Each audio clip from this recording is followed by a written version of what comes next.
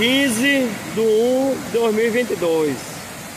Olha aí, Anchieta, meu amigo. A sangria da barragem, olha o monte de peixe aí pulando aí, ó. Isso tudo é peixe, chega a tá preto de peixe. Preto de peixe. Olha a arruma de peixe. Tudo subindo a piracema. Olha lá, lá na frente, vou dar um zoom aqui, ó. Ó. Olha lá os peixes pulando. Tá vendo, chefe? Muita água e ainda falta vir mais água ainda de Jardim de Piranha que as chuvas lá para cima foram muito boas. Ainda tá chegando muita água, muita água mesmo.